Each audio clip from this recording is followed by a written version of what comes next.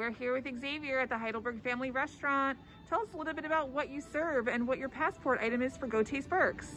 Well, hi, here we serve um, uh, average Pennsylvania Dutch meals, a few of those. We have a regular uh, breakfast, lunch, and dinner meals.